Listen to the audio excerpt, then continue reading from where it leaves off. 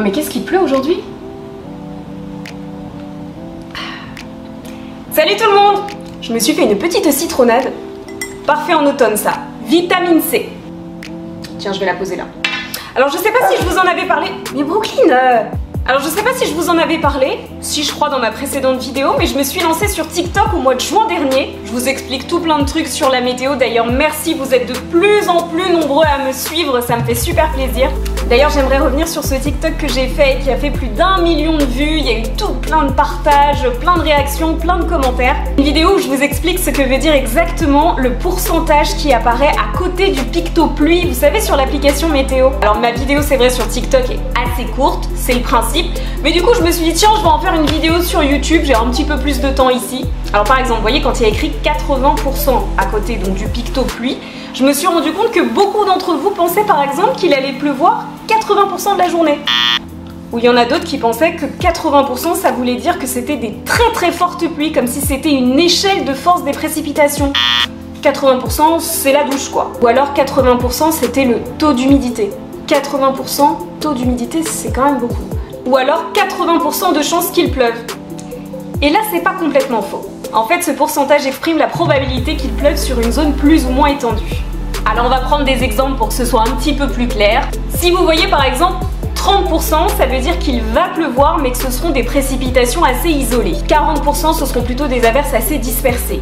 Et à partir de 60%, ce seront des averses un petit peu plus étendues. Et à partir de 70%, des précipitations plus étendues et surtout plus fréquentes. Alors en clair, en dessous de 50%, vous n'êtes pas obligé d'annuler vos activités en extérieur, vous avez quand même une chance d'échapper à la pluie. Mais alors comment on trouve ce pourcentage? En fait, les météorologues calculent ce pourcentage en considérant deux choses. Dans quelle mesure ils sont convaincus que les précipitations vont tomber dans la zone de prévision? Et deuxième chose, quelle zone va recevoir ces précipitations? Et là c'est parti, on fait des maths. Cette relation est exprimée par cette formule, risque de pluie égale pourcentage de confiance multiplié par le pourcentage de la zone concernée. Bon, on va prendre un exemple. S'ils sont sûrs qu'il va pleuvoir à 50% dans 80% de la zone, ça nous fait du 50% fois 80%, 40% ce qui nous donne en fait des averses assez dispersées. Donc oui, des averses, mais sur une zone moyennement étendue. Et quand on a des pourcentages de 80-90%, alors là on est sûr qu'il va pleuvoir sur une grande zone. Alors j'ai lu tous vos commentaires, et il y en a certains qui disaient mais quand ils mettent 40% par exemple pour une petite ville, ça veut dire qu'il va pleuvoir sur deux maisons en fait? Bon pour les petites zones comme ça, ça veut dire qu'il y aura des averses mais assez dispersées.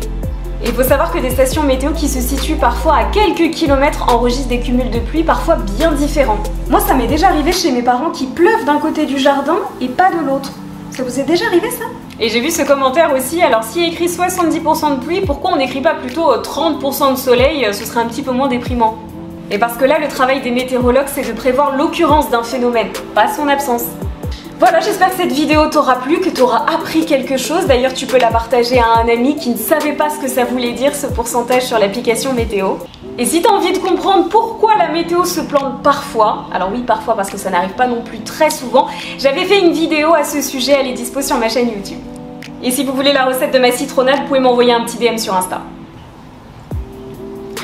Je vais peut-être rajouter un petit peu de miel.